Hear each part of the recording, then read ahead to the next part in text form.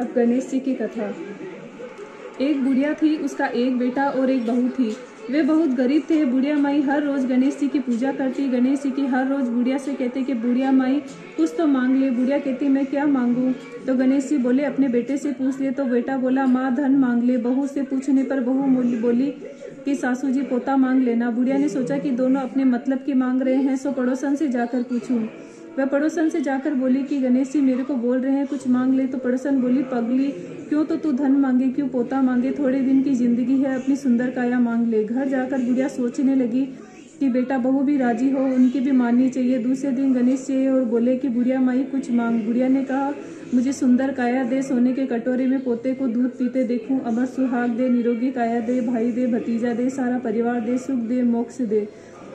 गणेश जी ने कहा, बुढ़िया माई, तूने तो मुझे ठगी लिया, सब कुछ मांग लिया। अब जैसा बोला है, वैसा ही होएगा। और गणेश जी अंतर्ध्यान हो गए और अब बुढ़िया माई के यहाँ पे सब कुछ वैसा ही हो गया है। गणेश जी महाराज, जैसी बुढ़िया माई को दिया, वैसा सब किसी को देना।